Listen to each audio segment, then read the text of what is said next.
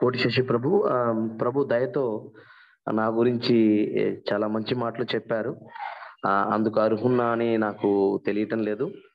ఆ, అందరి అందరూ డివోటీస్కి ధన్యవాదాలు తెలుపుకుంటున్నాను. ఈ అవకాశం నాకు ఇచ్చినందుకు గాను. ఆ, మంగళాచరణముతో మనము ప్రారంభిద్దాము. ఈరోజు క్లాసు. ॐ अज्ञानतिमिरान्धस्य ज्ञानाञ्जनशलाकया चक्षुरुन्मिलितं येन तस्मै श्रीगुरवे नमः। श्रीचैतन्यमनोभीष्टं स्थापितं येन भूतले स्वयं रूप कदा मह्यं ददाति स्वपदान्तिकम् वन्देऽहं श्रीगुरून् श्रीयुतापदकमलं श्रीगुरून् वैष्णवांश्च, श्रीरूपं साग्रजातं सहगण रघुनाथान्वितं तं सजीवं साद्वैतं, सावधूतं, परिजनासहितं कृष्णचैतन्यदेवं श्री राधा कृष्ण पादान सगन ललिता, श्री विशाखान्वितांश्च। नमामो विष्णुपदाय कृष्ण पृष्ठाय भूतले। श्रीमते भक्ति वेदांत स्वामी इति नामिने। नमस्ते सारस्वते देवे गौरवाणी प्रचारिणे, निर्विशेष शून्यवादी पाश्चात्य देशतारिणे। వాంఛాకల్పతరుభ్యశ్చ కృపా సింధుభ్యవ పతితానాం భావనేభ్యో వైష్ణవేభ్యో నమో నమ హరే కృష్ణ హరే కృష్ణ కృష్ణ కృష్ణ హరే హరే హరే రామ హరే రామ రామ రామ హరే హరే హరే కృష్ణ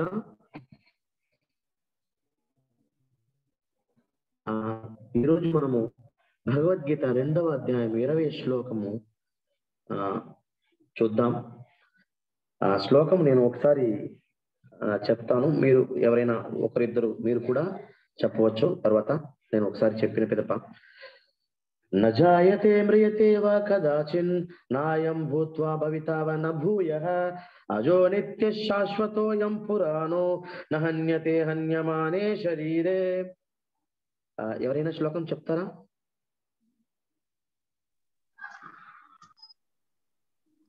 హరే కృష్ణ. కోటి శశి ప్రభు వేరే ఎవరైనా భక్తులు చెప్తారు?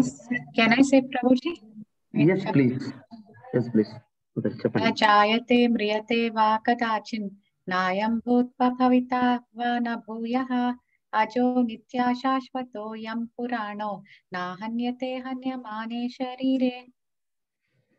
వేరెవరైనా చెప్తారా? హరే కృష్ణ ప్రభు. హరే కృష్ణ ప్రభు. ప్రవీణ్ ప్రభు అండి.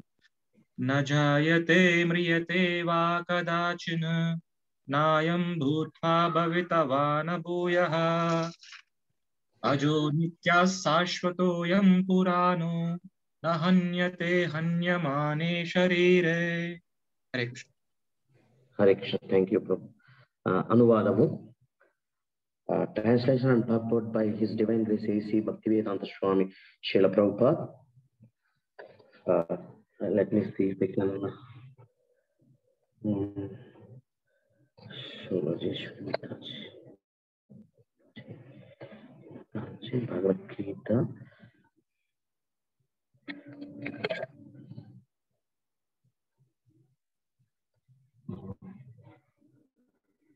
Share, share. Share. Screen.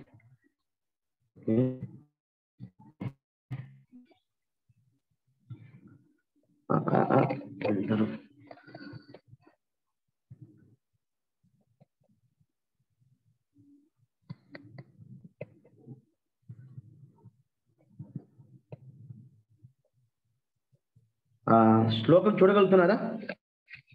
అనువాదము Hare Krishna. అనువాదము Hare Krishna ప్రభు. ప్రభు కనిపిస్తుందా ప్రభు? లేదు ప్రభు. కనిపించటం లేదు. Okay. Display over the apps.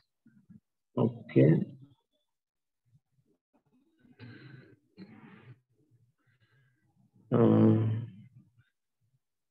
Stop sharing. ఇప్పుడు ప్రభు? ఎస్ ప్రభు ఇప్పుడు ఓకే ప్రభు. కనిపిస్తుంది now I can able to. See thanks translation and purport by his divine grace A C Bhakti Vedanta Swami ప్రభుపాదుల వారు. అనువాదము. ఆత్మకు ఎన్నడునూ జననము గాని మరణము గాని లేదు. ఆత్మ జన్మింపలేదు జన్మింపదు జన్మింపబోదు.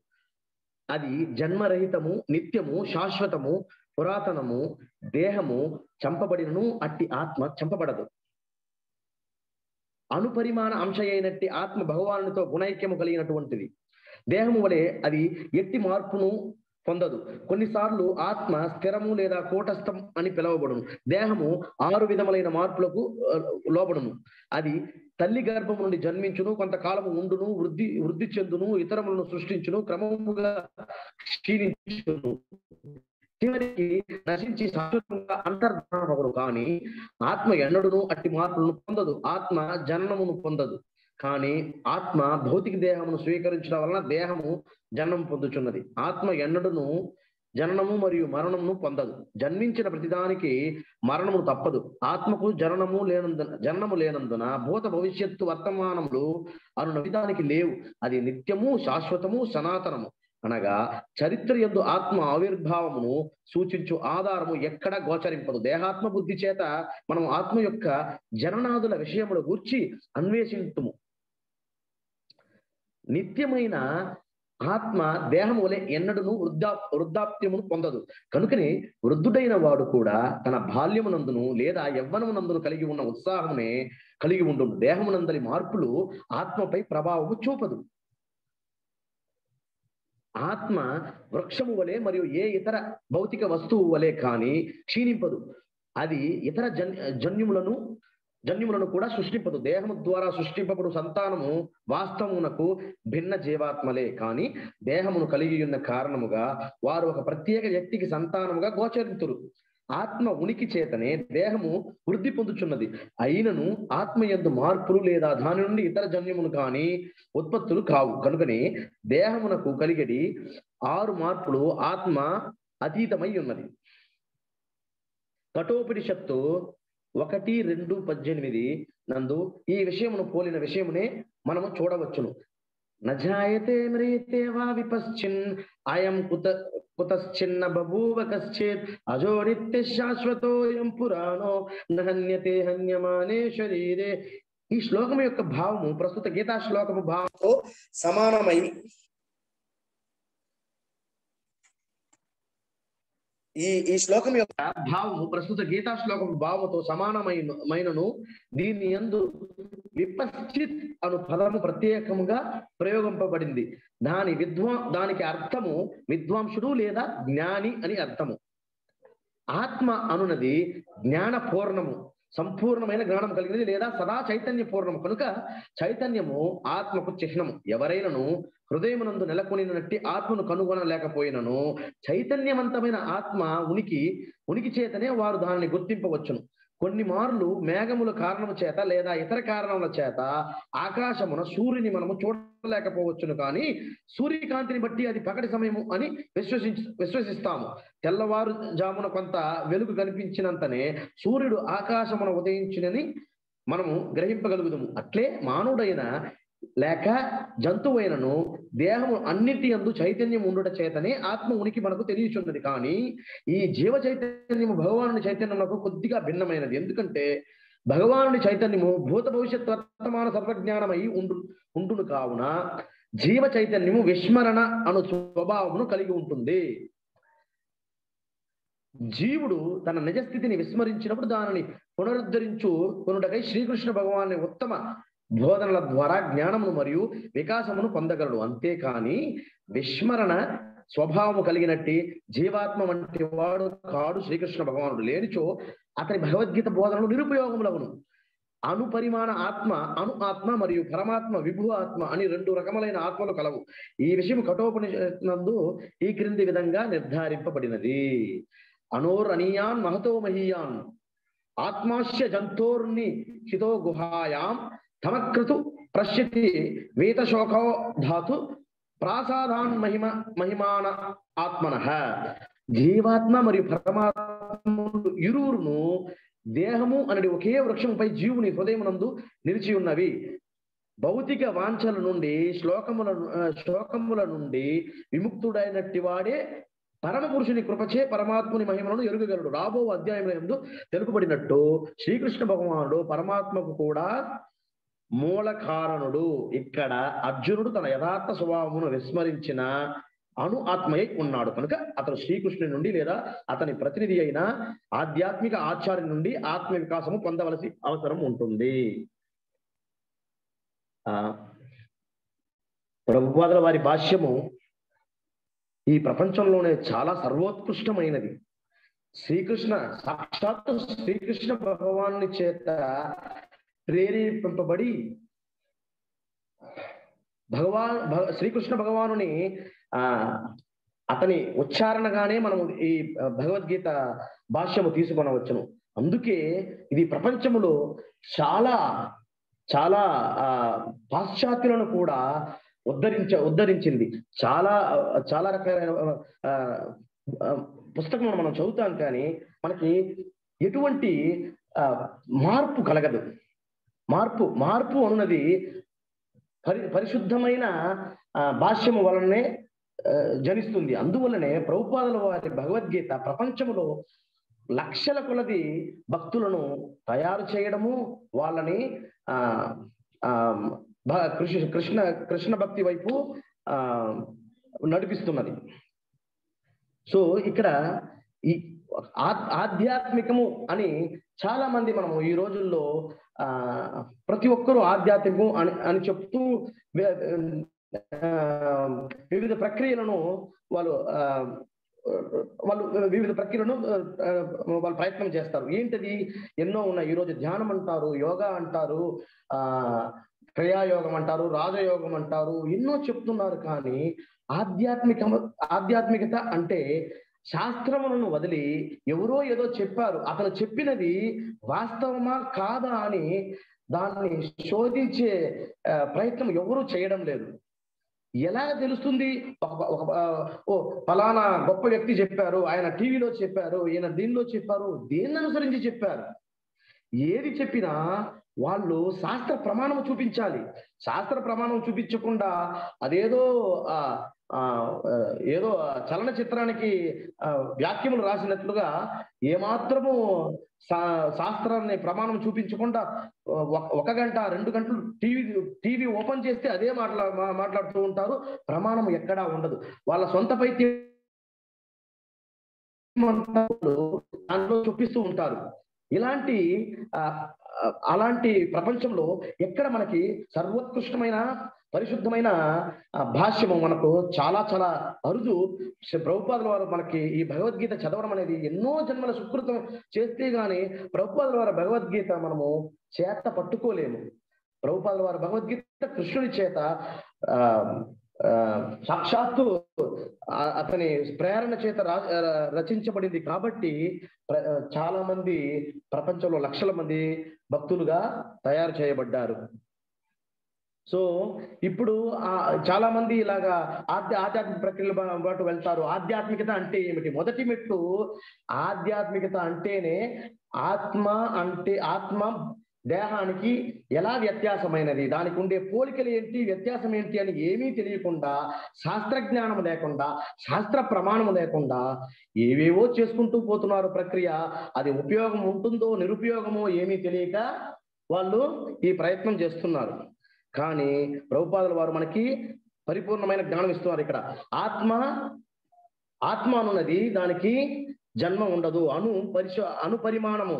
ఆత్మ అనేది మనకి శాస్త్ర ప్రమాణం చెప్తుంది. అది చాలా చాలా చాలా చిన్న పరిమాణం కలిగినది. మన వెంట్రుక యొక్క ఆ, కొనని పదివేల భాగాలు చేస్తే దాంట్లో ఒక చిన్న ఒక ఒక వంతు కూడా ఉండదు. ఆ ఆత్మని మనము భౌతిక పదార్థంతో పోల్చకూడదు కానీ మనం భౌతిక దేహంలో బంధించబడి ఉన్నాం కాబట్టి మనకు భౌతిక పరిమాణమే ఏదో కొంచెం అర్థమవుతుంది. అందుకని దానిని భౌతికంలో చెప్ప భౌతిక పరిమాణంలో చెప్పబడింది. భౌతిక పరిమాణానికి ఏముంటుంది?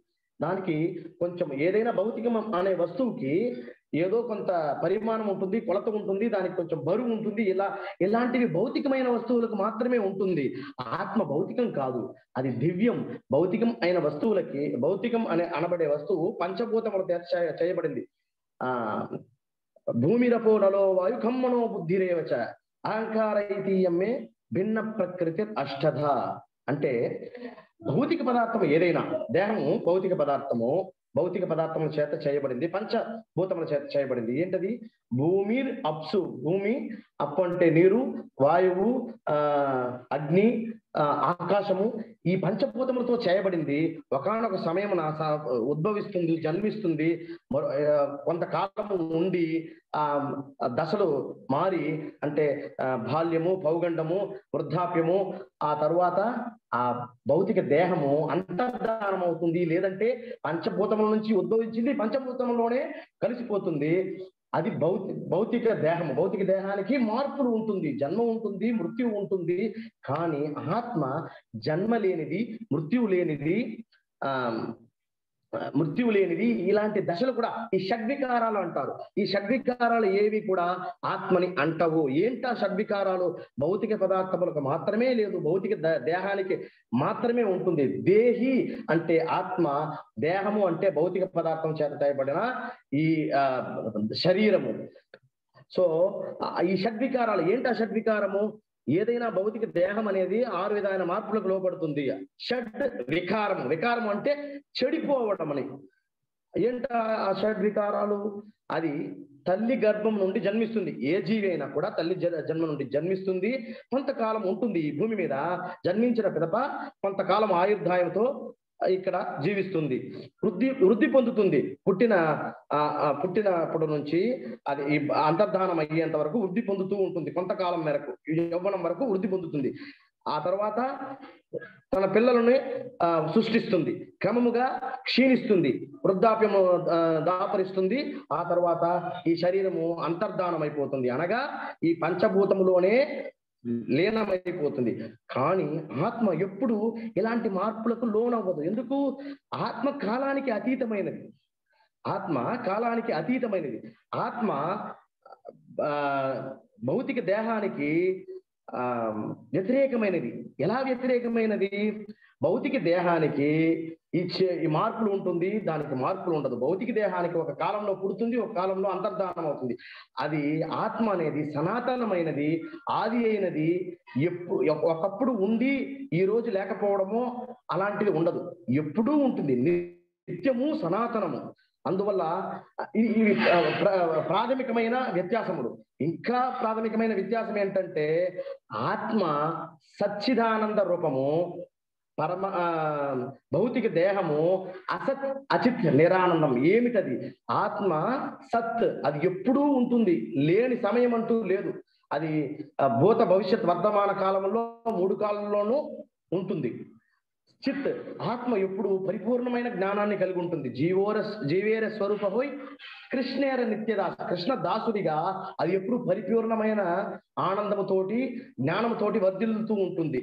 దాని యొక్క పరిశుద్ధమైన రూపంలో. కానీ భౌతిక దేహము దానికి ఆ జ్ఞానం ఉండదు. అందుకే మనం పుట్టిన ప్రతి ఒక్క వ్యక్తి కూడాను మనము ఆ విద్యాభ్యాసం చేస్తాం. విద్యాభ్యాసం చేస్తామంటే ఏమి? మనకు తెలియదు కాబట్టి నేర్చుకోవడం కోసము వర్ణమాల అలు కగ్గాలు ఆ వాక్యములు భాష నేర్చుకుంటాం వ్యాకరణం నేర్చుకుంటాం ఎన్నో చదువుతాం. ఎందుకు చదువుతాం? మనకు జ్ఞానం లేదు కాబట్టి జ్ఞానాన్ని సముపార్జన కోసం మనము విద్యాభ్యాసం చేస్తాం. కానీ ఆత్మ స్వతహాగా దాని పరిశుద్ధ స్థితి ఎందు అది పరిపూర్ణమైన జ్ఞానం కలిగినది. ఆత్మకి విద్యాభ్యాసం అక్కర్లేదు. అలాగే ఆత్మ ఎప్పుడూ ఆనందంలో ఉంటుంది. ఎందుకు? కృష్ణుని యొక్క అంశ కాబట్టి అది ఎప్పుడు ఆనందం పొందుతూ ఉంటుంది. కానీ భౌతిక దేహానికి ఎప్పుడు కూడా వ్యసనాలే. పుట్టుక చాలా చాలా కష్టము. ఎలా కష్టము? తల్లి గర్భంలో అంత అంత ప్రాంతంలో చాలా చిన్న ప్రాంతంలో అలా ఇరుక్కుని చాలా కష్టపడుతూ ఉంటుంది. ఆ నీరులో ఆ అది ఆమ్లము లాగా ఆ- చర్మాన్ని త్వచాన్ని కరుస్తూ ఉంటుంది. చాలా చాలా పురుగులు కూడా కరుస్తూ ఉంటుంది. తల్లి ఏమైనా కార కారమైన వస్తువులో ఏమైనా తింటూ ఉంటే అది ఈ బిడ్డని కూడా ఆ, కష్టపడుతుంది. ఇలాగా అంత అంత చిన్న ప్రాంతంలో తొమ్మిది నెలలకు గాను కష్టపడుతుంది. ఆ పుట్టుక అంత కష్టమైతే ఈ దేహము ఐదు కొన్ని రకాలుగా ఆనందం ఇవ్వగలిగితే దానికి కోట్ల రెట్లు దుఃఖాన్ని ఇవ్వగలుగుతుంది. ఈ దేహంలో ఉండే ఏ చిన్న చిన్న భాగమైన కూడా ఖండించబడితే అపరిమితమైన బాధలు కలుగును. అలానే ఎన్ని వ్యాధులు ఉన్నాయంటే అన్ని వ్యాధులు ఉన్నాయి. ఒకటో రెండింటికో మనకి కొన్ని ఆ దానికి ఇది ఉంది కానీ చాలా వాటికి ఏమాత్రము ట్రీట్మెంట్ కానీ ఏమీ లేదు. ఇలాగా వృద్ధాప్యము ఇంకా కష్టము. వృద్ధాప్యంలో ఏంటంటే ఆత్మ యవ్వనం కాబట్టి అది చాలా అది కోరుకుంటూ ఉంటుంది. అది ఎప్పుడు దాని యొక్క కోరికలు ఎప్పుడు తగ్గదు. కానీ దేహానికి ఆత్మ ఏది కోరుకున్నా కూడా అది ఆ ఆ క్షీణించిపోయిన దేహంతో ఏమీ చేయలేదు. కోరుకున్నవి ఏమి కూడా చేయలేదు. ఇలాగా ఆ ఆత్మకి దేహానికి ఇంత వ్యత్యాసం ఉంది. ఆత్మకు ఉన్న ఇంకా ఉన్నతమైన క్వాలిటీస్ ఏమి? ఆ గుణాలు ఏమి? ఏంటంటే ఆత్మ మనం ఇప్పుడు చూసాము. సత్ చిత్ ఆనంద. ఎందుకు? అది కృష్ణ శ్రీకృష్ణుల వారి అంశ కాబట్టి. ఏం భగవద్గీత శ్లోకం చెప్తుంది? ఆ మమైవాంశో జీవలోకే జీవభూత సనాతన మన మనశ్శానేంద్రియాన్ని ప్రకృతి స్థాని కర్షతి. ఏమంటున్నారంటే శ్రీకృష్ణ భగవానుడు భగవద్గీతలో జీవుడు నా యొక్క అంశ మమైవాంశో జీవభూత జీవ నా యొక్క అంశ జీవుడు. అలానే జీవుడు తన యొక్క అంశే కాదు అహం బీజప్రద పద- బీజ బీజప్రద పిత అంటారు. అంటే ఆత్మకి ప్రతి ఆత్మకి దేవుడే తండ్రి అన్నట్టు. అంటే వేదాలు తొమేవ త్వమేవ మాత తొమేవ పిత త్వమేవ బంధు. వేదాలు ఏం ఘోషిస్తుందంటే ఆ శ్రీకృష్ణ భగవానుడే ప్రతి ఆత్మకి అతనే మాత అతనే పిత అతనే అతనే బంధువు అన్నీ అతనే. ప్రతి ఆత్మకి కానీ దేహానికి ఒక్కొక్క దేహానికి ఒక్కొక్క తల్లి తండ్రి ఉంటారు. కానీ ప్రతి ఆత్మకి తల్లి తండ్రి ఎవరు? శ్రీకృష్ణ భగవానుడే. అదే అంటుంది. ఆ సో ఈ ఈ దేహానికి ఆత్మకు ఉండే ఈ వ్యత్యాసాన్ని మనం గమనిస్తే అది మొదటి మెట్టు ఆధ్యాత్మికతకి. మనము ఈ రోజు బయట ఆధ్యాత్మికత అని అంటే సిద్ధ సమాధి యోగా అని ఎన్నో యో- ఎన్నో రకాల యోగా ఉన్నది. వాళ్ళు శ్వాసించడాన్ని ఆధ్యాత్మికత అంటారు. శ్వాసి శ్వాసించడం ఏమవుతుంది? అది ఒక ఎక్సర్సైజ్. అంతే కదా? అది ఒక అభ్యాసము. దేహ అభ్యాసం కానీ అది ఆత్మకు సంబంధించిన జ్ఞానం ఎలా అవుతుంది? ఆత్మకు సంబంధించిన జ్ఞానం ఉంటేనే దాన్ని ఆధ్యాత్మిక ఆధ్యాత్మికత అనబడుతుంది. ఆత్మకు సంబంధించిన జ్ఞానం ఏమీ బోధింపబడకుండా ఏదో కొన్ని కబుర్లు చెప్పుకుంటూ లేదు దేహాభ్యాసం చెప్పుకుంటూ దాన్ని ఆధ్యాత్మికత అను పేరుతో చెల్లుబాటు చేసుకుంటున్నారు. అది ముమ్మాటికి చాలా చాలా ఆ శాస్త్రంలో చెప్పబడనిది ఆ తప్పైన విషయం. సో ఆధ్యాత్మికత అంటేనే ఆత్మ భౌతిక దేహము యొక్క వ్యత్యాసములు దాని అక్కడ నుంచే ఆధ్యాత్మికత అనేది మొదలవుతుంది. ఈ షడ్వికారములు భౌతిక దేహానికి ఉంటుంది ఆత్మకు ఉండదు. సో ఆత్మ ఆ జననము మరియు మరణాన్ని పొందదు. జన్మించిన ప్రతిదానికి మరణం తప్పదు కదా. జాతస్సు ధ్రువం మృత్యు జాతస్య ధ్రువం మృత్యు. జన్మించిన ప్రతిదానికి మరణం ఉంటుందని భగవద్గీతలో చెప్పబడింది. అంతే కదా ఏ జీవి అయినా జన్మిస్తే మరణం ఉంటుంది. అంటే ఒక ఒక కాలంలో జన్మిస్తుంది ఇంకొక కాలంలో మరణిస్తుంది కొంతకాలం తరువాత. కానీ ఆత్మ అలా లేదు కదా అది ఏ కాలానికి లోబడింది కాదు కదా ఆత్మ సనాతనము. కాబట్టి దానికి జన్మము లేదు మరణము లేదు. ఆత్మ భూత భవిష్యత్ వర్తమానము అన్నది దానికి లేదు. ఎందుకు లేదు ఆత్మకి భూత భవిష్యత్ వర్తమానము? అది కాలాతీతం కనుక దేవుడు కూడా కాలాతీ కాలాతీతుడే. దేవుడు ఏం చెప్తాడు? అహం కాలోష్మి అంటాడు. కాలము దేవుని యొక్క ఒక పరికరము. దేవుని యొక్క ఒక పరికరము. ఆత్మ దేవుని యొక్క బిడ్డ కాబట్టి ఆత్మ కూడా దాని యొక్క పరిశుద్ధ స్థితిలో కాలానికి అతీతమైనదే. కాలానికి లోబడింది కాదు. భౌతిక దేహము మాత్రమే కాలానికి లోబడినది. సో అందువల్ల భౌతిక దేహానికి మాత్రమే భూత భవిష్యత్ వర్తమానంలో ఉంటది. అంటే పది సంవత్సరాల ముందు ఒక వ్యక్తి చిన్న పిల్లగా ఉండ పిల్లాడుగా ఉండవచ్చు. ఇప్పుడు ఈ- రోజున అతను యువకుడుగా ఉండవచ్చు. ఒక ముప్పై సంవత్సరాల తర్వాత అతను వృద్ధాప్యాన్ని పొందుతాడు. ఎవరు పొందుతాడు? ఆత్మ కాదు. ఆ దేహము పొందినది. ఆ దేహము ఆ వృద్ధాప్యాన్నో లేక ఒక శరీరం యొక్క వివిధ దశలను పొందింది కానీ ఆత్మ పొందలేదు. అంటే ఆత్మకి భూత భర- భవిష్యత్ వర్తమాన కాలములు లేదు. కానీ దేహానికి ఈ భూత భవిష్యత్ వర్తమాన కాలములు కాలములు అనేది ఆ వర్తిస్తుంది. అది నిత్యము. ఆత్మ అనేది నిత్యము శాశ్వతము సనాతనము. ఎందుకు? ఆత్మ భగవానుని అంశ కదా. మమైవాంశో జీవలోకే జీవభూత సనాతన. నేను ఆత్మ ఇద్దరం కూడా ఒకే అంశ కలిగిన వాళ్ళము. కాకపోతే అత నేను సనాతనం అతను సనాతనం. ఏమి వ్యత్యాసం భగవానునికి ఆత్మకి? ఆత్మ భగవానునితో సారూప్యత కలిగినది గుణముతో ఏకమైనది అంటున్నాము. అంటే ఏమిటి వ్యత్యాసము? గుణముతో ఏకమైనది. కానీ ఆత్మ అణువు భగవానుడు విభువు. అణువు అంటే అది మాయకు లోబడ లోబ లోబడగలిగినది. దానికి దేహము దేహము కలుగును. ఆత్మ అపరిశుద్ధ స్థితి అందు దేహాన్ని తీసుకుంటుంది. భగవానుడు ఎప్పుడు కూడా భౌతిక దేహాన్ని స్వీకరించడు. అందుకే భగవానుడు ఈ విషయాన్ని తెలిసిన వాళ్ళు ఖచ్చితంగా ఆధ్యాత్మిక లోకాన్ని చేరుకుంటారు. ఎలా? భగవద్గీతలో ప్ర- శ్రీకృష్ణ వారు ఇలా చెప్పారు. శ్రీకృష్ణ భగవానుడు జన్మకర్మచం ఏ ఏ దివ్యం యోవేతి తత్వధ త్యక్వాదేహం పునర్జన్మం నైతి మామేతి శోర్జున ఆత్మకి భగవానుడికి ఉండే ఈ వ్యత్యాసం ఎవరైతే తెలుసుకుంటారో తెలుసుకొని భగవానునికి భక్తియుక్త సేవలు వనరుస్తారో వాళ్ళకి ఖచ్చితంగా నా ఆధ్యాత్మిక లోకంలో స్థానము ఉండును అని ఆయన శ్రీకృష్ణ భగవానులు చెప్తున్నారు. ఏమి ఆ వ్యత్యాసము?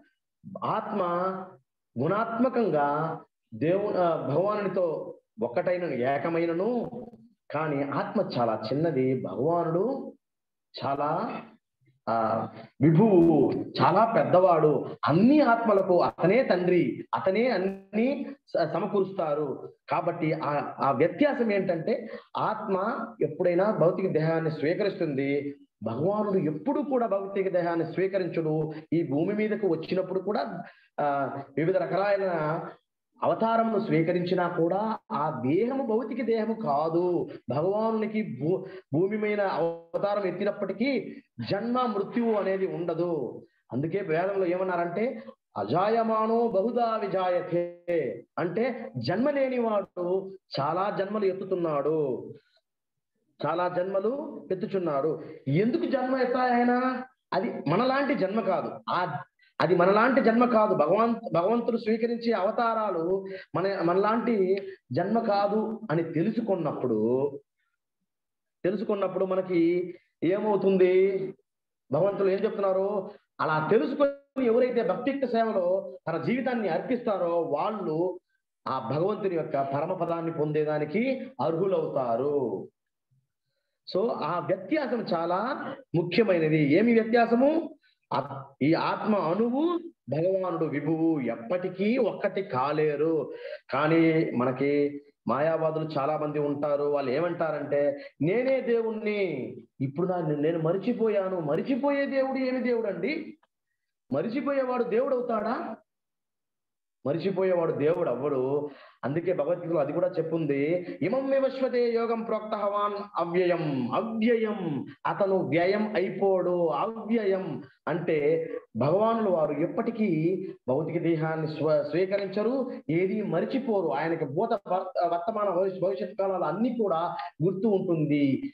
ఆత్మ దేహాన్ని స్వీకరిస్తుంది కాబట్టి ఆ దానికి ముందర ఏమి జరిగిందో తర్వాత ఏం జరుగుతుందో ఆత్మకు తెలియదు. కానీ భగవానుడు భౌతిక దేహాన్ని స్వీకరించరు. అతను ఏది మరిచిపోరు. అందుకే అర్జునులు వారికి భగవద్గీతలో చెప్తారు. భగవద్గీతలో అర్జునుడు అడుగుతారు ఏమండి ఆ మీరు నా ఫ్రెండ్ కదా. అర్జునుడు కృష్ణుడు వాళ్ళు ఆ, బంధుత్వం కదా. సో మీరు చిన్నప్పటి నుంచి నాకు స్నేహితులుగా ఉన్నారు కదా.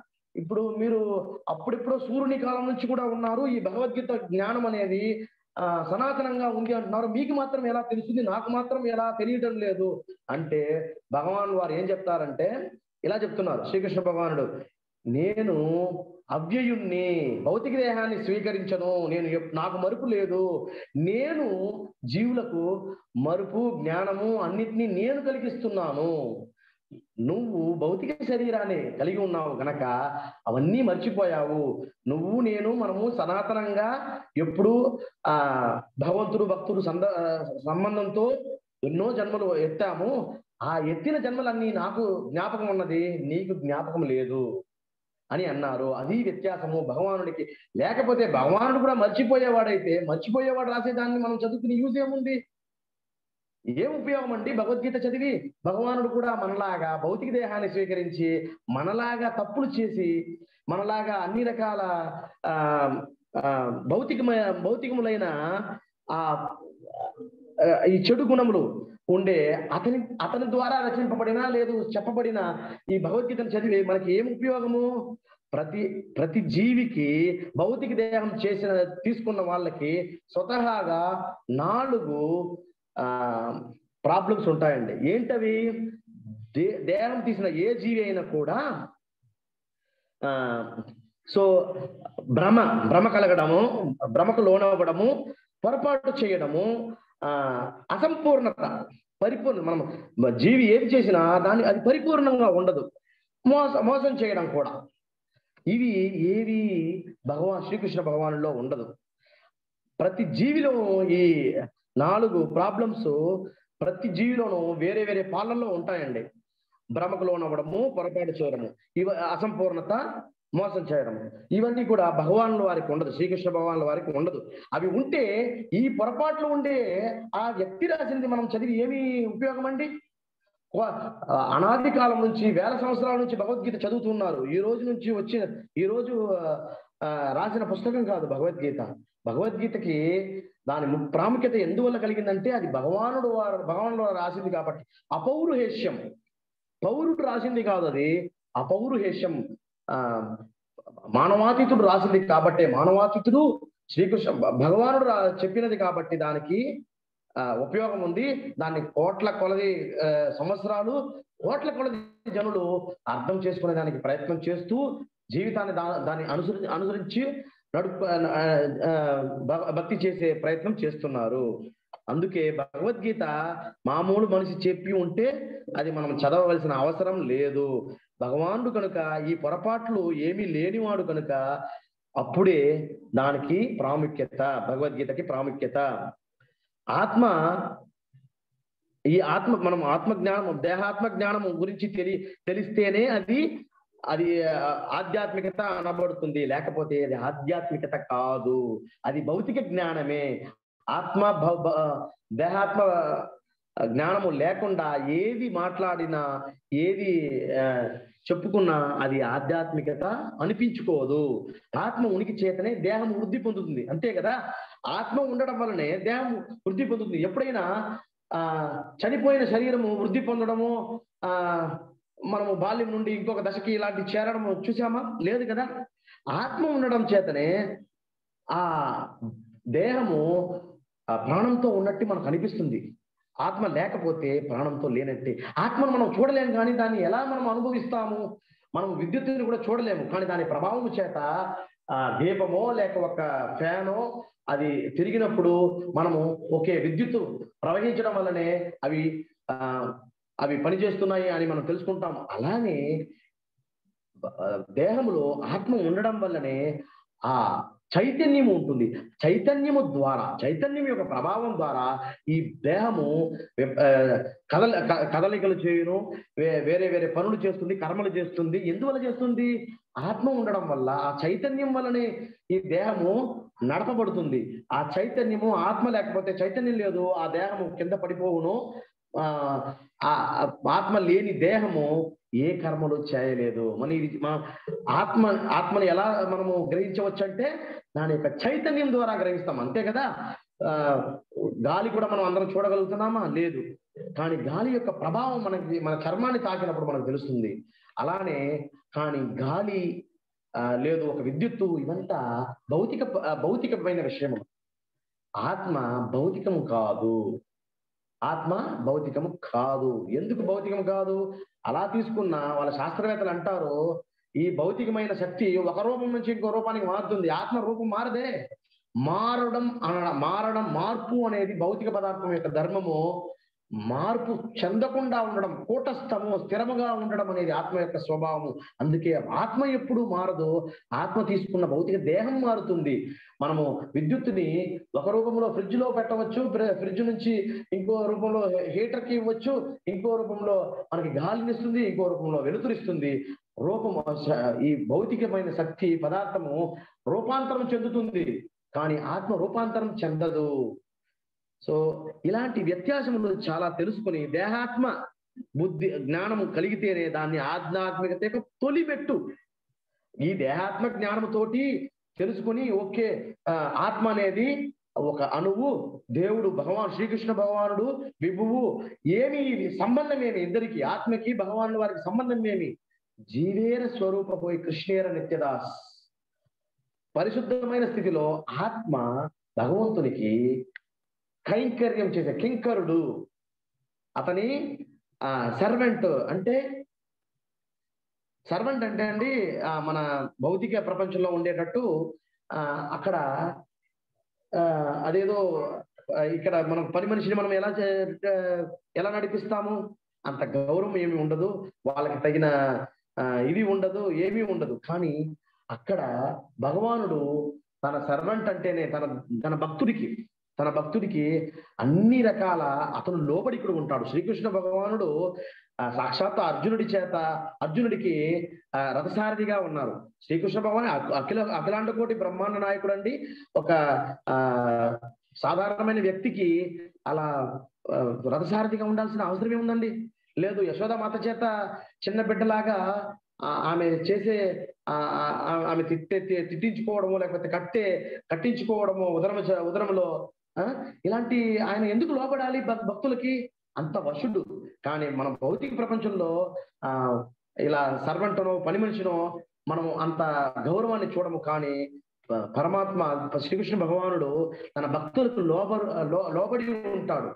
అదే వ్యత్యాసము. ఆ ఆత్మ యొక్క పరిశుద్ధమైన స్థితిలో ఆత్మ భగవంతునికి భక్తి చేస్తుంది. భక్తి అంటే ఏమి లేదు. సర్వోత్కృష్టమైన ప్రేమ. ప్రేమ అంటే ప్రతి వ్యక్తి జీవి అనేది దానికి చాలా ముఖ్యమైన ఆ ప్రధానమైన అంశం ఏమంటే ప్రేమించడం. ప్రేమ ఒక్కటే దాన్ని సంపూర్ణంగా పరిపూ ఆనందం కలుగజేస్తుంది. ఆ ప్రేమ పరిపూర్ణంగా ఉంటే దాన్ని భక్తి అంటాము. పరిపూర్ణంగా ఎవరి దగ్గర ఉండగలుగుతుంది?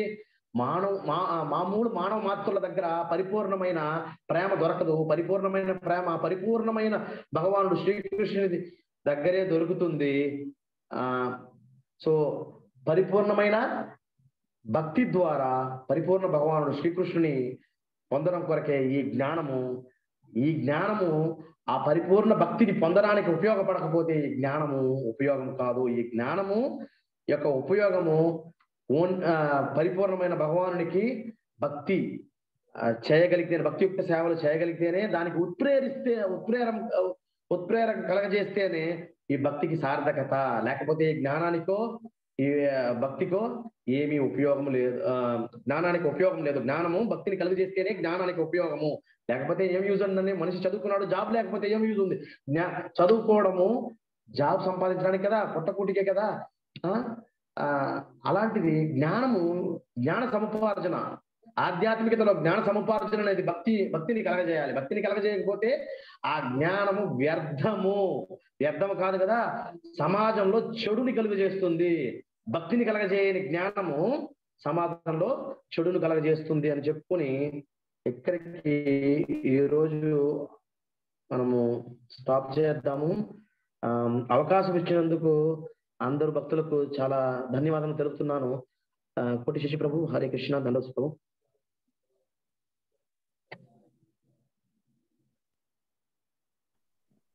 హరే కృష్ణ ప్రభుజీ ధన్యవాదాలు సో ఎవరికైనా ఏమైనా సందేహాలు ప్రశ్నలు ఉంటే అడగచ్చు.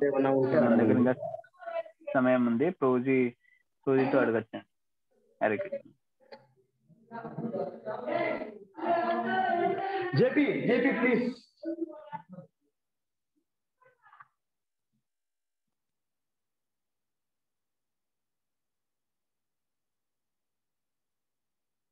Hare Krishna. ఆ, హరే కృష్ణ ప్రభు. హరే కృష్ణ మాతాజీ. ప్రభు చాలా బాగా చెప్పారు ప్రభు. Thank you Mataji. మీదే ప్రభు ఇప్పుడు ఫర్ ఎగ్జాంపుల్ అంటే అంటే మన మన నాలెడ్జ్ లిమిట్ అని మనకు తెలుసు. బట్ స్టిల్ ఇప్పుడు మనం వచ్చింది దేవుని నుంచే కదా ఇక్కడికి భౌతిక లోకానికి వచ్చింటాము. అవును. అది మనకు తెలీదు ఎలా వచ్చినామో ఎందుకు వచ్చినామో అని తెలీదు. భక్తి మార్గంతో కానీ అంటే వేరే మార్గం ఉన్నాయి. కాకపోతే ఇప్పుడు మనం భక్తి మార్గంలో ఉన్నాం కాబట్టి భక్- భక్తి మార్గంతో మనం మళ్ళీ దేవుని దేవుని దగ్గరికి వెళ్ళొచ్చు. ఓకే.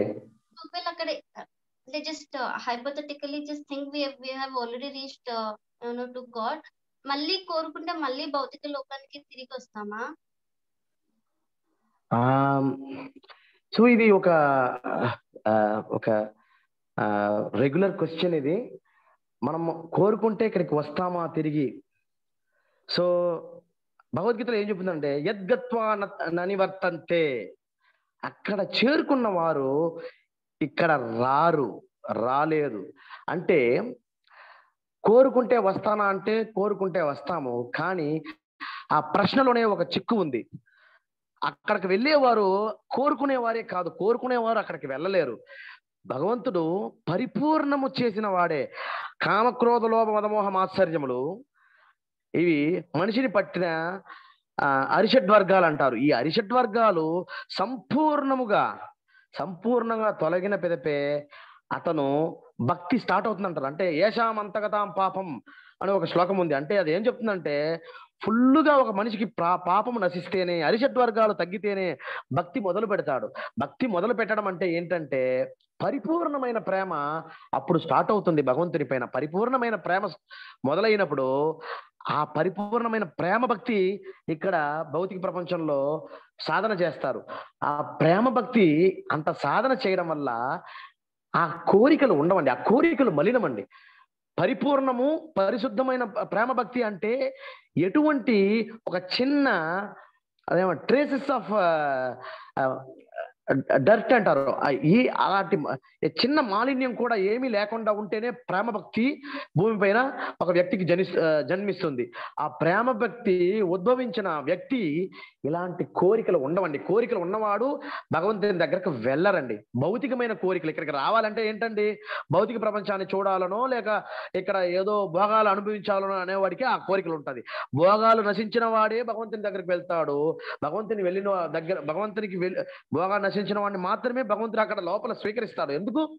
అక్కడ పోయి భగ భోగ భోగ కోరికలు ఉండేవాడు. మిగతా వాళ్ళని కూడా డిస్టర్బ్ చేస్తారు కదా. అక్కడ ఉండే ఆ ఆ ఎన్విరాన్మెంట్ని భగవంతుడు డిస్టర్బ్ చేసుకోదలుచుకోలేదు కాబట్టి పరిపూర్ణంగా క్లీన్ చేసిన వాళ్ళని మాత్రమే అక్కడ తీసుకెళ్తారు. ప్రేమ భక్తి ఉన్న వాళ్ళు మాత్రమే భౌతి ఆధ్యాత్మిక లోకాలకు వెళ్తారు. ఆధ్యాత్మిక లోకానికి వెళ్ళినాడు అంటేనే అతనికి అలాంటి కోరికలు ఉండదు. సో ఆ ప్రశ్నలోనే చిక్కు ఉంది మాతాజీ. అర్థమైంది కదా?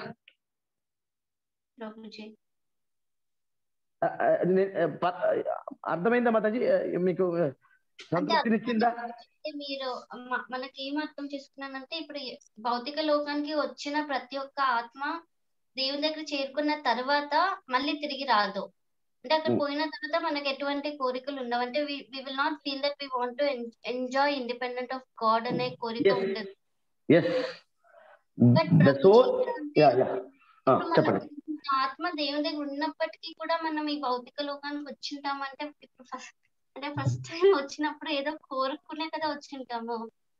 అవును మాతాజీ ఇది ఒక క్లాసికల్ క్వశ్చన్ అండి. ఇది this a classical question so acharyas resolve this issue దీన్ని ఎలా వాళ్ళు రిజాల్వ్ చేస్తారంటే ఒకసారి ఎలా వచ్చాము అన్నది తెలియదు ఏమంటే మాతాజీ ఇప్పుడు వచ్చేసి ఒక ఇల్లు ఉంది తగలబడిపోతుంది. అయ్యో ఈ నిప్పు ఎలా వచ్చిందని చూస్తామా? ఇంటి నుంచి బయట వచ్చేదానికి ప్రయత్నం చేస్తామా మాతాజీ? ఇంట్లో- నుంచి బయట వచ్చేదానికే ట్రై చేద్దాం. మీరు ఆధ్యాత్మిక ప్రపంచానికి వెళ్ళి అక్కడ చాలా పెద్ద పెద్ద ఆచార్యులు ఉన్నారు. అక్కడ శ్రీకృష్ణ భగవాన్ ఉన్నారు. డైరెక్ట్గా మీరు వాళ్ళని అడగొచ్చు. ఇక్కడైతే ప్రస్తుతానికి ఆచార్యులు వారు ఏమంటారు? ఒకసారి ఎలానో somehow you have fallen now you practice to go back to Godhead rather than keep asking these questions acharyas will have answer for this question of yours and Sri Krishna Lord Sri Krishna supreme person of Godhead has answer in the spiritual world మీరు అక్కడికి వెళ్ళి అక్కడ answer తెలుసుకొని మాకు వీలైతే పంపించండి Mataji. Okay Prabhuji. Hare Krishna. Hare Krishna I want add small this ప్రభు మీ ఆ, ఈ- ఇది మళ్ళా ఇక్కడ వచ్చేదానికి అవకాశము బాగుంటే వస్తాం ఏదైనా ఒక ప్లేస్ అనేది. యాక్చువల్గా కృష్ణనే చెప్పినాడు. ఈ ఈ ప్రపంచాన్ని ఈ భౌతిక ప్రపంచాన్ని చేసిన కృష్ణుడే చెప్పినాడు దీని గురించి. ఏమని? దుఃఖాలయం అశాశ్వతం ఫుల్ ఆఫ్ మిజరీస్ ఎస్ అట్లాంటప్పుడు దీనికి రావాలి అని మనం అనుకుంటే కోరిక ఎందుకు పుడుతుంది మరి? ఆ, కోరిక రాకూడదు. మనం సో అందువల్ల మనకు అక్కడికి వెళ్ళిపోయిన తర్వాత మనకు రాకూడదు అని మనం ఇప్పటి నుంచి మనం ప్రయత్నం చేయాలి. రాదు మాతాజీ. రాకూడదు రాకూడదనే ఆయన ప్రశ్నే ఉత్పన్నం అవ్వదు రాని వాడే అక్కడికి వెళ్తాడు. ఇప్పుడు అదే ఇప్పుడు ఏంటంటే అదే పర్పట్లో ప్రభుపాదులు వారి ఒక మాట అన్నారు. మనకి మనం ఎప్పుడు ఏమనుకుంటామంటే బా- భౌతిక దేహానికి జన్మ ఉంది మృత్యు ఉంది కదా. ఆత్మకు కూడా జన్మ ఉందా మృత్యు ఉందా అని కూడా చాలా మందికి సంశయం కలుగుతుంది. కానీ ఆ క్వశ్చనే రాంగ్ ప్రభుపాదులు వారు ఏమంటారంటే మనము దేహంలో బంధించబడి ఉండడం వల్ల ఆత్మ యొక్క జ్ఞానం లేని దాని వల్ల ఆత్మ యొక్క స్వభావం తెలియని దాని వల్ల మనకు ఆ- ప్రశ్న ఉత్పన్నం అవుతుంది మొదటి మొదట ఆ ప్రశ్నే ఉత్పన్నం అవ్వకూడదు అది తప్పు. అంటే ఒక ఒక వ్యక్తి పరిపూర్ణమైన భక్తి పొందిన వాడికి పరిపూర్ణమైన భక్తి రావడం అంటే ఏంటి? అతను భోగవాంఛలు పోయినవాడు. ఆ సంశయం ఆ కోరిక వాడికి కలగని వాడే పైకి వెళ్తాడు. పైకి వెళ్ళినాక వాడికి కోరిక కలగదు గాక కలగదు. కాబట్టి ఆచార్యులు ఇలానే చెప్తున్నారు. That's what I wanted to add మీరు. దుఃఖాలయం అశాశ్వతం కాబట్టి ఎవరు కూడా మళ్ళీ రావాలి అని అనుకోరు అని నేను కూడా.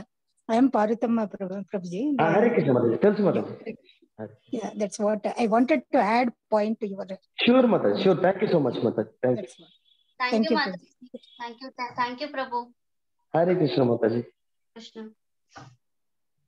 హరే కృష్ణ వేరే ఎవరికైనా ఎవరైనా ఏమైనా ప్రశ్నలు ఉన్నాయా?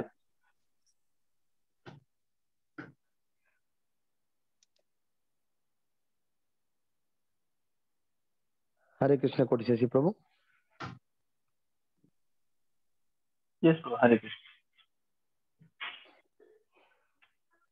సో ఎవరికైనా ఇంకేమైనా సందేహాలు ప్రశ్నలు ఉంటే అడగండి. సో ప్రభుజీ మన కోసం సమయాన్ని వెచ్చిస్తున్నారు.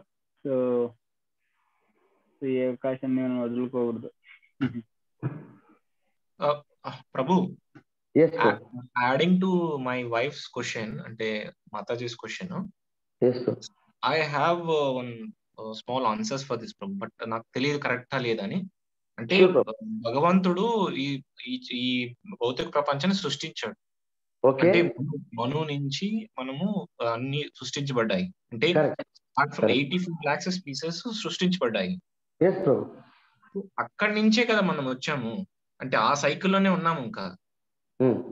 ఎయిటీ ఫోర్ లాక్స్ సర్కిల్లోనే ఉన్నాము. ఉన్నాం ఓకే సో ఆ సర్కిల్ నుంచి బయ బయటపడడానికే మనం ఈ కృష్ణ చైతన్యం అనేది మనం ప్రాక్టీస్ చేస్తున్నాము. అంటే తప్పు కదా ప్ర- ప్రభు. యాక్చువల్గా దేవుడే పుట్టించింది భౌతిక ప్రపంచాన్ని అంటే ఆ ప్రపంచంలోనే ఇంకా తిరుగుతున్న ఆ ఎయిటీ ఫోర్ లాక్స్ స్పీసెస్లోనే తిరుగుతున్నాము ఆ తిరుగుతున్నప్పుడు ఆ స్పీసెస్ ఆ సర్కిల్ నుంచి బయటపడడానికే మనం ఈ అట్లీస్ట్ ఈ మానవ జన్మ అనేది తీసుకున్నాము. ఈ మానవ జన్మలో కూడా మనం realise కాలేదంటే then. Again fall in to the same circle correct correct so then there is no question of asking that why how can we came back from the God so అది అది కరెక్ట్ అంటారా నా answer ప్రభు యాక్చువల్గా ఏంటంటే అదే చెప్పాను ప్రభు ఇప్పుడు ఒక క్వశ్చన్ ఏంటంటే మనం ఒక్కసారి ఎందుకు ఎలా వచ్చేసాం? అంటే ఇప్పుడు ఆచార్యులు ఏమంటారు? ప్రతి జీవి కూడా ప్రతి జీవి కూడా స్వతహాగా తొలి ఆదిలో ఆధ్యాత్మిక జే- లోకంలోనే ఉన్నది. అప్పుడు దేవుని దేవుని పైన ఈర్ష్య వలన మీరొక్కరే ఎందుకు దేవుళ్ళు? ఆ ఈర్ష్య వలన జీవ అంటే కృష్ణునికి మనము వ్యతిరేకంగా తిరుగుతాం అనమాట అప్పుడు one turns his back against God ఇప్పుడు కృష్ణునికి వ్యతిరేకంగా మీరొక్కరే ఎందుకు దేవుడు అండి ఇక్కడ? ఆధ్యాత్మిక లోకంలో నేను కూడా మీకు కాంపిటీషన్ మీకు నేను పోటీ అని ఎప్పుడైతే భగవంతుని పైన ఈర్చి కలుగుతుందో ఆ జీవి కింద పడుతుంది. కానీ కొంతమంది అడగొచ్చు జీవి కింద పడుందండి ఎలాగండి? అక్కడ పోతే మీరు రారంటారు. కానీ కింద పడితే ఆ, రారు అంటే అలాంటప్పుడు మనం అక్కడి నుంచి ఇక్కడికైతే ఎలా వచ్చాము? దీనికి ఆ సైడ్ క్వశ్చన్ అటువంటి క్వశ్చన్ ఏంటది? అక్కడి నుంచి మనం ఎలా ఇక్కడ కిందకు వచ్చామంటే somehow we are fallen Prabhupada మనము ప్రభుపాద బుక్స్ చదివితే ఇది చాలా చోట్ల చెప్పుంటుంది. ఏమనేసి సమ్ హౌ వీఆర్ ఫాలన్ ఆచార్యులు కూడా ఆ మాట అన్నారు. ప్రభుపాదుల వారు ఆచార్యుల యొక్క కమెంటరీస్ అలా చెప్పారు. ఏమనేసి మనం ఒకసారి ఎలానో వచ్చాం. దానికి ఆన్సర్ ఖచ్చితంగా ఆధ్యాత్మిక లోకంలో దొరుకుతుంది. ఒకటి భగవంతుడు ఈ సృష్టి మొత్తం భౌతిక సృష్టిని మొత్తం ఆ, ఆ సృష్టించిందే ఈ భౌతిక భౌతిక లోకంలో ఉండే జీవులను ఉద్ధరించాలని ఆ భౌతిక ఈ జీవులకు అవకాశం ఇవ్వాలని ఆధ్యాత్మిక లోకాలకు తిరిగి వెళ్ళాలని ఈ సర్వ జగత్తు భౌతిక జగత్తు ఉద్భవింపజేసింది దాని కొరకే. ఆయన మహావిష్ణువు కారణోదక సాయి నుంచి గర్భోదక సాయి విష్ణువు గర్భోదక విష్ణువు నుంచి క్షీరోదక సాయి విష్ణు ఇలా అన్ని రకాలైన విస్తరణ ఆ ఆ, ఆ యొక్క అవతారాలు తీసుకోవడము అన్ని కూడాను ఆ జీవులను ఉద్ధరించడానికి భౌతిక సృష్టి నుంచి మొత్తము. సో ఒక క్వశ్చన్ ఏంటంటే ఆ కింద ఎలా వచ్చామో ఆచార్య ఆన్సర్ చేయట్లేదు. ఆ, కానీ ఇట్స్ ఇక్కడ నుంచి పైకి వెళ్ళేదానికే మనం అన్ని జీవులను ఉద్ధరించడానికే మొత్తం భౌతిక సృష్టి చేయబడింది. ఈ క్వశ్చన్ ఈ ఈ- ఈ ప్రశ్న అయితే మాత్రము మనము భౌతిక జగత్తంతా కూడా భగవంతుడు జీవి ప్రతి జీవికి ఆ అవకాశం ఇవ్వడానికి అంటే ఆయన అవతారంగా వచ్చి అతని సాంగత్యాన్ని ఇచ్చి అతను లీలలు చేసి జీవులని ఆకర్షించి ఓ ఇక్కడ మొత్తం దుఃఖంగా ఉంది. కానీ భగవంతుడు వచ్చినప్పుడు చాలా బాగుంది. ఆయన సాంగ సాంగత్యం బాగుంది. అతని యొక్క భక్తుల సాంగత్యం బాగుంది. ఆనందమయ ఆనందదాయకంగా ఉంది. అతని లీలలు ఆనందదాయకంగా ఉంది. విన్నా చూసినా కన్నా అతని లీలలు అతని నామము ఏది చెప్పినా ఆనందంగా ఉంది. అంటే అక్కడ ఇంకా చాలా ఆనందంగా ఉంటుంది. అందుకని చెప్పి భౌతిక సృష్టి జీవులని అతని వైపు సృష్టి చేయడము ఇక్కడ అవతారం ఎత్తడము జీవులను ఆధ్యాత్మిక లోకం వైపు లోకం వైపుకు ఆకర్షించడానికి కానీ కింద పడిన కింద పడడం అయితే ఆచార్యులు ఇలా చెప్తున్నారు. సంహౌ వీఆర్ ఫాలన్ ఏదో ఒక కారణం చేత మనం పడ్డాం. ఈవెన్ భక్తికి కూడా ఒక ఇది ఉంటది. ఏన తేన ప్రకారేణ మన శ్రీకృష్ణ నివేశయత్. ఏదో ఒకటి చాలా రకాలైన పద్ధతులు ఉన్నాయి భక్తి భక్తి ప్ర- సాధన చేయడానికి. కానీ మీకు ఏదైతే మీకు కీర్తన నచ్చితే కీర్తన చాంటింగ్ నచ్చితే చాంటింగ్ ఏదైతే మీకు ఏదో ఒకటి చేసి భక్తుడికి దేవుడికి మీరు ఆకర్షితులు అవ్వండి. భ- భక్తియుక్త సేవలో నిమగ్నం అవ్వండి అని అంటారు. అలాగా somehow we are fallen somehow we have to do devotion devotion to get out of this material world which is మీరు చెప్పినట్టు దుఃఖాలయం అశాశ్వతమైన ఈ భౌతిక ప్రపంచం నుండి ఉద్ధరింపబడాలంటే దేవునికి ఆకర్షితులు అవ్వడం మాత్రమే ప్రభు ఇది ఇది నెవర్ ఎండింగ్ క్వశ్చన్ ప్రభు. ఎందుకు కింద వచ్చింది అనేది నెవర్ ఎండింగ్ క్వశ్చన్ ఇంకా మనము దీనికి పైన ఇంకా మనకి ఇంకా డౌట్ ఉంటే మనము హరిక్షేత్ర ప్రభుని అడిగి ఇంకా బెటర్ అండర్స్టాండింగ్ మనము ఇంకా మంచి అవగాహన ప్రయత్నం చేద్దాము. నా యొక్క పరిమితమైన అవగాహన మేరకు నేను ఏదో చెప్పే చెప్పే ప్రయత్నం చేశాను ప్రభు. రైట్ ప్రభు బాగా చెప్పారు ప్రభు. చాలా అద్భుతంగా ఉంది బ్రో మీ speech. Hare Krishna Prabhu thank you thanks for your kind words ప్రభు అంత కోటి శశి ప్రభు అవకాశం ఇచ్చారు నాకు. హరిక్షేత్ర ప్రభు అవకాశం ఇచ్చారు. భక్తులకు నాలుగు మాటలు పంచుకోవడానికి నేను అంత అర్హుడినేం కాదు. కోటి శశి ప్రభు చెప్పినట్లు వాళ్ళందరూ చాలా senior devotees. Thank you Koti Sasi Prabhu and Harikshetra Prabhu for giving me this chance Kotisesh Prabhu Hare Krishna. Prabhu. Hare Krishna Prabhu Hare Krishna bro చాలా అద్భుతమైన క్లాస్ని ఇచ్చారు ఈ రోజు అనుకోలేదు మీరు ఇలా అంటే మిమ్మల్ని ఎక్కువ ఇంగ్లీష్లో మాట్లాడమే చూశాను కానీ తెలుగులో ఇలా అంత అద్భుతంగా చెప్తారని నేను ఊహించుకోలేదు యాక్చువల్గా. సో చాలా అద్భుతంగా చెప్పారు ప్రభు చాలా ఈ రోజు క్లాస్లో ఎక్కువ మనం ఆత్మ గురించి దాని యొక్క స్వరూపం ఎలా ఉంటుంది దాని యొక్క లక్షణాలు ఎలా ఉంటాయి మీరు చాలా చక్కగా చెప్పారు ప్రభుజీ. సో సో ఇంకా ఆ, ఎవరికైనా ఎక్కువ ఇన్ఫర్మేషన్ కావాలంటే భగవద్గీత చదవండి. సో దాంట్లో కృష్ణ భగవానుడు ఇంకా చాలా చక్కగా చెప్పారు అనమాట ప్రీవియస్ శ్లోకాస్ కూడా. సో మనం టూ టూ పాయింట్ రెండో అధ్యాయం పద్నాలుగు శ్లోక మనం లాస్ట్ వారం చూశాను. తర్వాత ఈ రోజు రెండో అధ్యాయం ఇరవై శ్లోక మనం చర్చించుకున్నాం. మధ్యలో మనం కొన్ని శ్లోకాలని ఆ మనం స్కిప్ చేసాం అనమాట సో అవన్నీ మనం ఆ చూడట్లేదు. సో వాటిని వాటిని కూడా మనం ఒకసారి చదివినట్లయితే సో మనకి ఇంకా బాగా అర్థమవుతుంది. సో తర్వాత ఆ మనం అనుకున్నట్టు ప్రభుత్వం చెప్పినట్టు మనం ఈ భౌతిక జగత్తుకి ఎలా వచ్చాము అనేది ఆ నెవర్ ఎండింగ్ క్వశ్చన్ ఎవరికి టెన్ అదేమంటారు? నో దానికి ఎవరు సమాధానం చెప్పలేరు. సో కానీ ప్రవీణ్ ప్రభు అడిగిన క్వశ్చన్ ఎలాంటిదంటే సో మనం సృష్టించబడింది ఆ మను సో బ్రహ్మ మను వాళ్ళంతా మనం సృష్టించారు. సో వాళ్ళంతా కర్తలు అనమాట సో భగవంతుని ఆదేశానుసారం వాళ్ళు సృష్టిని చేస్తున్నారు. సో సృష్టి ఎలా చేస్తున్నారు అంటే అదొక దాని వెనకాల ఒక లాజిక్ ఫార్ములా ఉంది. ఆ ఫార్ములా వచ్చేసి సో ఎవరైతే ఆ కోరికలు ఎవరికైతే ఇలాంటి కోరికలు దేవుడి నుంచి దూరం ఉండాలి దేవుడి నుంచి దేవుడిలాగా నేను కూడా ఒక భౌతిక ఏమంటారు ఆనందాన్ని పొందాలి అన్నప్పుడు వాళ్ళని సృష్టి చేసేటప్పుడు ఆ ఆత్మని ఆ శరీరానికి సంబంధించిన ఒక శరీరాన్ని సృష్టించి వాటిలో పంపించి భౌతిక జగత్తుకు పంపిస్తారనమాట సో అదంతా మనం ఆ అర్థం చేసుకోవడానికి చాలా డిఫికల్ట్. సో దీనికోసం ఒక ఉదాహరణ రూపాలలో ఇంకో ఉదాహరణ చెప్తారు. ఎలా అంటే ఒక నావలో పోయేవాడు సో ఎవరో వెనకల నుంచి తోసినట్లయితే అప్పుడు అతను నీళ్ళలో పడిపోతారు. సో నీళ్ళలో పడిన తర్వాత ఫస్ట్ ఆ నీళ్ళలో పడ్డ వ్యక్తి ఏం ఆలోచించాలి ముందు? నీళ్ళ నుంచి బయటికి ఎలా రావాలి అనే ఆలోచన ఉండాలి. ఆ ఆలోచన కాకుండా ఎవరు నన్ను తోసింది అని నీళ్ళల్లో పడి పడిన వ్యక్తి ఆలోచిస్తుంటే తను చనిపోతాడు. సో తన తన ప్రయత్నం ఎలా ఉండాలంటే ముందు నేను వెన- మళ్ళీ నావలోకి వెళ్ళాలి. నావలో వెళ్ళిన తర్వాత మనం ఎవరయ్యా తోసింది అని మనం ప్రశ్నించి పట్టుకోవచ్చు ఆ వ్యక్తిని. సో అలాగే ఇక్కడుండి మనము ఎవరు నేను ఎవరు నన్ను పంపించారు ఇక్కడి ఎలా వచ్చాను నేను ఎందుకు వచ్చాను నేను అనే ఆ ప్రశ్నలు వేయకుండా భక్తి చేసి భగవంతునికి వెళ్ళి భగవంతుని అడగచ్చు. నేను ఎలా వచ్చాను అని. ఎందుకంటే అతనికి తెలుసు మనం ఏమేమి ఏమేం పాపాలు కర్మాలు చేశాము మన భోగవాంఛలు ఎలా ఉన్నాయి మన అనో ఆనందాలు ఎలా ఉన్నాయి భగవంతుడి నుంచి దూరం ఎలా వచ్చాము అనేది భగవంతుడికి తెలుసు. మనం అన్ని మర్చిపోతాం. సో ఈ రోజు క్లాస్లో ప్రభుత్వం చెప్పినట్లు మనం అన్ని మర్చిపోతాం.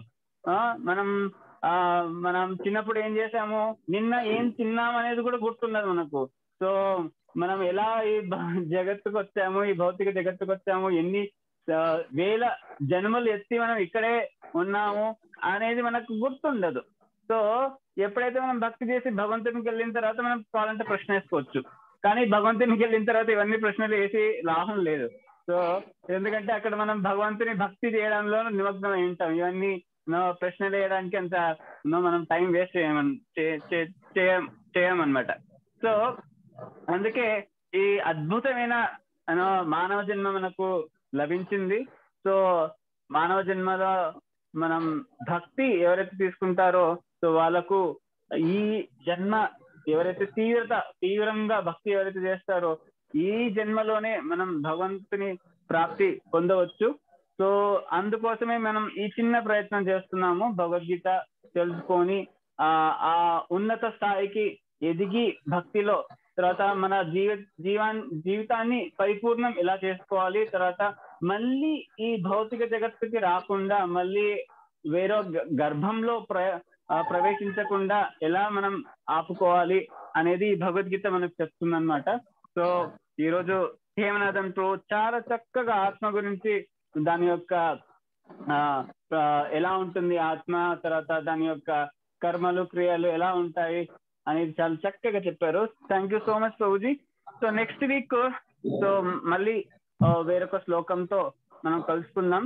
సో తర్వాత దయ ఒక చిన్న మనవి ఎవరికైతే ఎవరి దగ్గర అయితే భగవద్గీత లేదో సో వాళ్ళు భగవద్గీత తప్పక తీసుకోండి.